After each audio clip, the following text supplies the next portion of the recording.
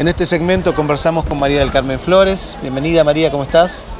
Buenas tardes, bueno, gracias por estar acá, por acompañarnos.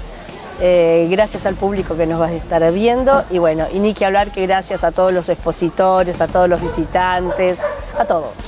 Fernando Puyol con nosotros, ¿Qué ¿cómo tal? le va? ¿Cómo anda? Mucho gusto. Se lo ve cansado por la actividad, Cansado pero contento. feliz. Sí, sí, la verdad que sí, porque finalmente salió el sol y esto se convirtió en la fiesta que esperábamos que fuera. Sí, tal cual. Contarle a la gente que en la jornada de sábado tuvimos un poco de lluvia, un poco de viento, un poco de frío, pero lo que nos llamó la atención a nosotros, que aún así hubo mucha gente y los stands estuvieron. Eso habla de un compromiso importante, María del Carmen. Sin duda, sin duda que sí. Bueno, por un lado, muy, muy, muy feliz de estar compartiendo en esta instancia con Fernando, que es un trabajador incansable y silencioso, porque él nunca aparece en las redes ni en ningún lado, y, es un vecino espectacular que está en- en todas las cosas pequeñas del día a día, y este trabajador incansable, sin duda. La gente que nos sigue sabe, recuerda que hace relativamente poco tiempo estuvimos conversando con él en ocasión de la inauguración Exacto. de su obra en la Plaza de los Escolares, eh, que tuvo muy buen impacto en, en nuestra gente por, por- por el significado que tiene esa plaza tan, tan especial. ¿no? Sí, yo creo que un poco el espíritu que nos anima a todos los que estamos en, esta, en estas labores en, en pro de la comunidad es, este, es ver una Atlántida cada día mejor, este, con más espacios verdes, con más participación de la gente, con más gente involucrada en el cuidado de nuestra ciudad. Que ahí es cuando entre todos podemos convertir esto en un lugar mucho más lindo para vivir para todos. Bueno, María del Carmen, vos, en base a toda la experiencia que tenés en los Atlántida Jardín, ¿qué particularidades le ves a esta edición 2022? el compromiso de la gente. Eh, habíamos dicho ya en, en- instancias previas que bueno que teníamos como, como, como tres edades ¿no? Involucradas, desde el espacio de, preparado por el CAIS con el rincón de lectura para niños, más otras cosas que se están haciendo para niños, el espacio de la UTU, que está maravilloso, esa carpa que vemos allá con la muchachada brindándonos música, trabajo, cocina, espectacular. Y bueno, y el stand de Ajupena, como, como involucrándonos a todos. Pero el compromiso de la gente ha sido maravilloso, porque ayer confiaron en nosotros, vinieron, armaron igual, eh, empezamos con sol, maravillosamente, y decíamos, Atlántida Jardín, eh, la lluvia se suspende por Atlántida Jardín y fue parte del día, sí, nos permitió armar. Y la gente vino, vino y aún empezó a llover y la gente seguía viniendo. Entonces esto a nosotros nos da como, como mucho aliciente, ¿no? Este, que, que las ganas que tienen de disfrutar de esto y el compromiso de los expositores, las maravillas que han preparado, cómo siguieron la consigna de hacer pequeños jardines, de que todos tuvieran plantas, de bueno, la siguieron y todo eso está preparado hoy acá. Pero queremos más, queremos mucho más. Queremos a cada vecino fijándose en qué puede hacer cada uno.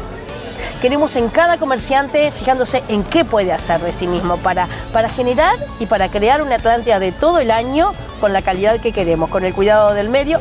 También tenemos involucrado, además del Ministerio de Turismo, el Ministerio de Ambiente, eh, diciendo, bueno, sí, eh, puedo, puedo poner una planta, puedo poner una maceta, puedo mejorar mi espacio, puedo mejorar mi vereda, puedo mejorar mi vit- vitrina, puedo mejorar la plazoleta de la esquina. A ver, necesitamos que cada uno se focalice en lo que puede hacer, más allá de mirar qué no hacen otros.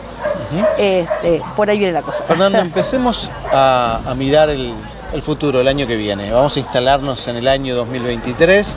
Eh, ¿Qué Atlántida Jardín se imagina usted para el año que viene? ¿Qué le gustaría que tuviera el año que viene? Falta mucho, ¿no?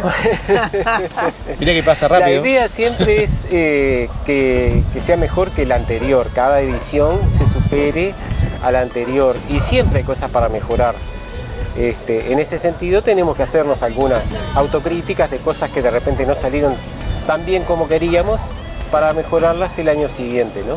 Estamos siempre, siempre buscando cosas nuevas, siempre buscando innovaciones también, ¿no?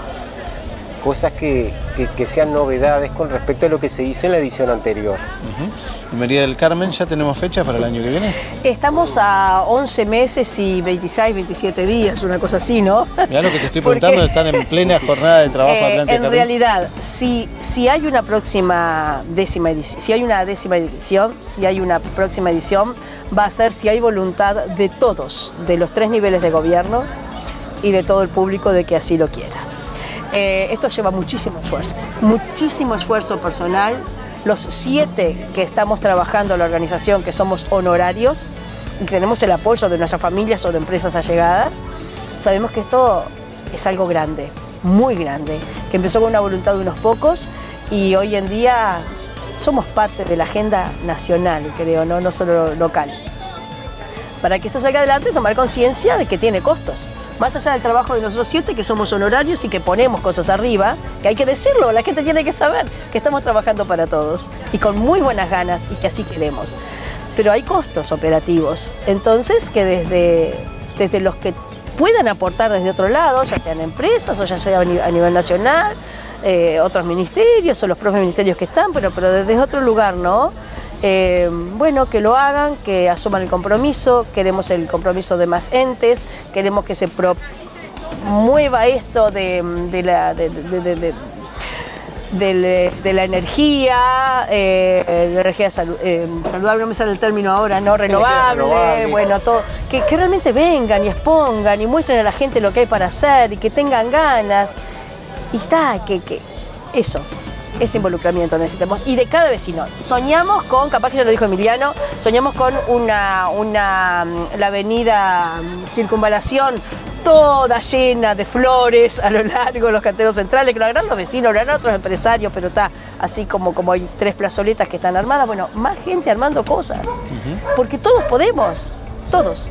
Bueno, que así sea. Que vamos a estar empujando para que eso, para que eso suceda. Fernando ha sido muy amable por regalarnos Muchas estos gracias a ustedes por, la difusión que le dan a todos. La gente no sabe, pero ustedes están de aquí para allá generando cosas, comunicándose con el micrófono con la gente, organizando, hablando con los expositores, recibiendo los votos. ¿Cómo viene la, votación? ¿Buena presencia? Bueno, eh, no sé, Fernando. Bastante buena presencia, sí. Sí, sí, sí, sí. O sea, el público puede votar. Ha respondido el público por sus stands preferidos. Exactamente participa en un sorteo que hacemos de unos rosales. Este, y, la gente se, ha enganchado con, el tema de, las votaciones por los stands. muchas gracias Fernando. Y María del Este año también tenemos una votación que lo hacen en, en el stand de la Asociación Turística de Canelones con un fin de semana en Santa Lucía este, con un city tour y con, una comida, una cena o un almuerzo. Pasen por allí que también hay, hay dos, un par de premios ahí que se pueden llevar solo por ir a votar o llenar un formulario. Muchas gracias María del Carmen. A ustedes por estar y gracias a la audiencia. Seguimos compartiendo esta, esta, esta jornada tan especial de Atlántida Jardín 2022 con la mejor cobertura para Destino Costero.